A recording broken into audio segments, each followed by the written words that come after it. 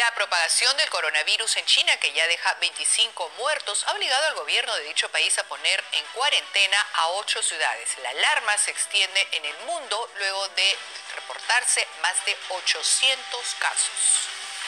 Ya son al menos 25 las personas que han perdido la vida a causa del brote del nuevo coronavirus. Centenares de personas en diversas partes del mundo han sido afectadas, por lo que se han reforzado las medidas de seguridad en China. Ocho ciudades de la provincia de Hubei, lugar en donde inició el brote del virus, han cancelado todo tipo de transporte.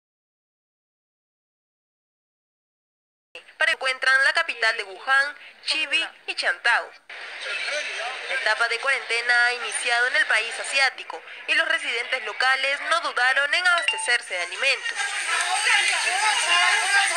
Enormes colas se registraron en los supermercados y hasta algunas peleas entre los pobladores, quienes intentaron llevarse el mayor número de productos de